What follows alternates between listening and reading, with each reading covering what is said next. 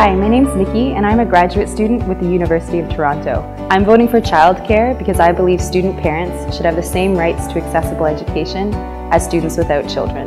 This October, be a part of Generation Vote.